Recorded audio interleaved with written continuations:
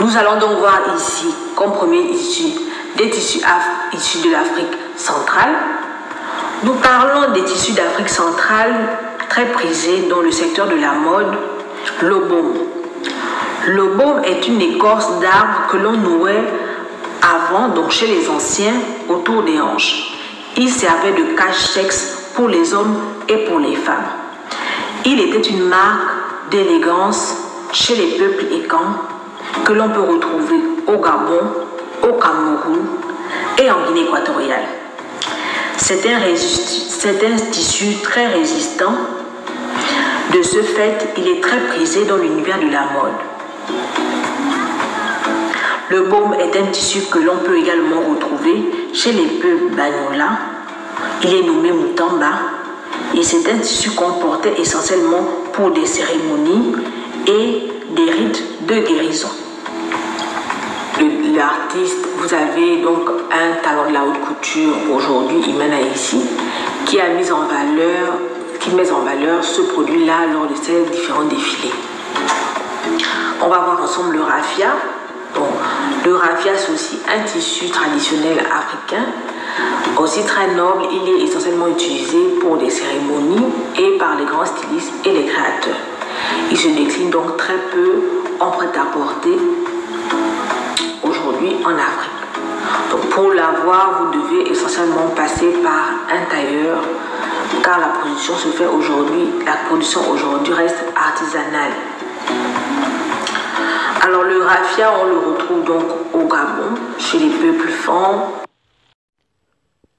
Bonjour à vous et bienvenue encore sur cette partie de Congo Design Art TV avec cette introduction de notre consoeur de YouTube qui vous permet de comprendre que le textile est un élément essentiel de notre vie.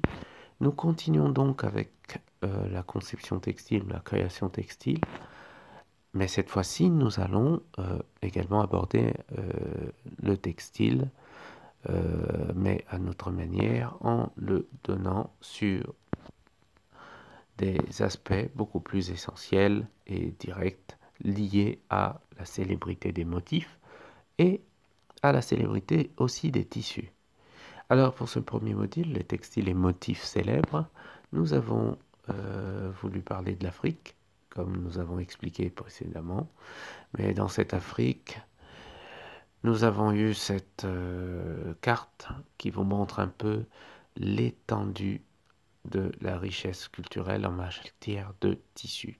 Alors en Afrique centrale, au Congo, en RDC, on cite le raffia. On cite le Bogolan au Mali, on cite l'Assoeke sur la région de l'Afrique de l'Ouest, qui part un peu d'une partie de la Côte d'Ivoire jusqu'au Sénégal. Vous avez le Quintet. Après le Quintet, vous avez l'Ankara, qui lui prend euh, du Cameroun au Gabon jusqu'à aller euh, au Soudan. Vous avez le Chitenge, vous avez le Samara, et donc, euh, avec cette carte, on peut se rendre compte que si on devait parler de tissu en Afrique, il y a de quoi faire. Et de l'autre côté, vous avez le coton égyptien. Et donc, de ce fait, ça rend euh, essentiel. On parle du Kuba, du Rafia Kuba, on parle du Bogolan, on parle du berger, on parle des tissus de la Kabylie, on parle également des, c'est pas des bergers, mais des berbères, excusez-moi. On parle des Touaregs, on parle de l'Ankara, on parle de l'Akwete, on parle de la Lindi, on parle du Togo, on parle du Chitenge, on parle du Samakaka, qui lui était très très très coloré.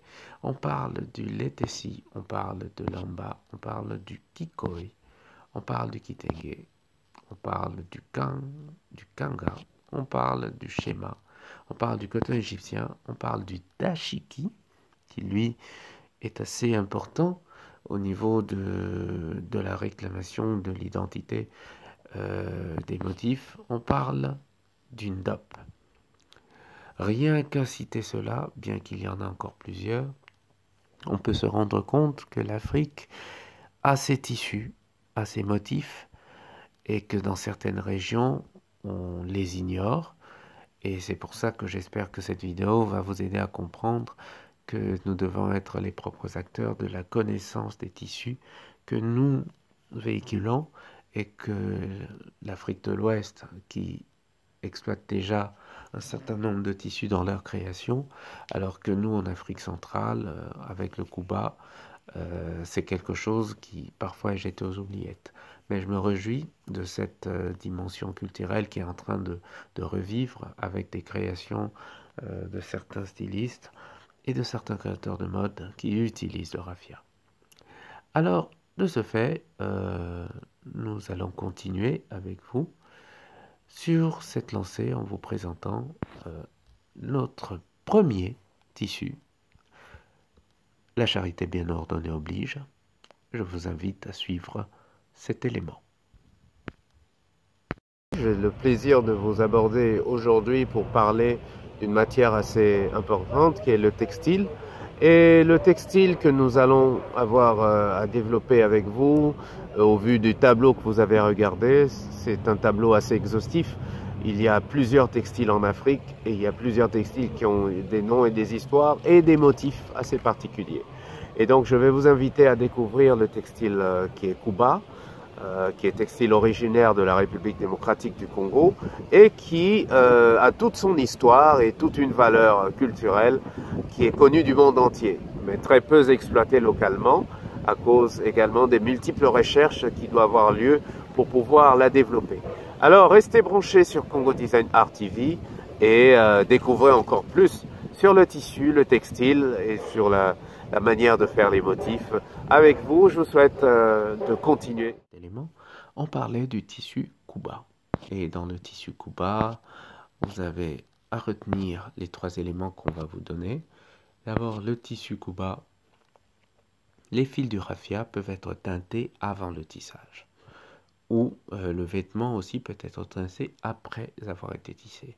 Avec des éventuelles réserves, on peut avoir plusieurs teintes. C'est-à-dire avec cette possibilité, on peut autant avoir des raffias colorés que des raffias naturellement euh, avec la couleur naturelle.